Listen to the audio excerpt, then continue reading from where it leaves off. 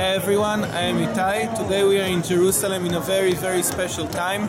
This is the last evening before the evening of Yom Kippur, the holiest day in the Jewish calendar, a day in which everybody goes to the synagogue, fast for 25 hours, ask for forgiveness. Basically, it is a day in which all your sins and your bad deeds should be cleaned from your previous year.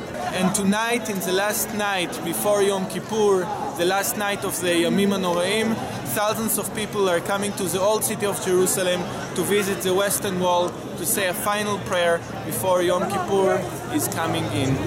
Let's have a look and see a few of the pictures of what's going on tonight.